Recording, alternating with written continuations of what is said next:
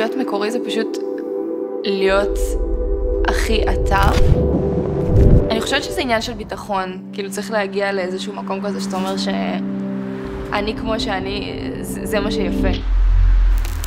כשאני נמצאת על הבמה זה, זה הבית שלי. הפידבק מהקהל זה נראה לי הדבר שהכי מניע אותי להמשיך ולעשות את מה שאני עושה. כאילו זה לא משהו שאתה יושב וחושב איך אני אהיה מקורי, זה פשוט להשתחרר רגע מכל המחסומים שלך, להיות אתה, וללכת עם זה עד הסוף.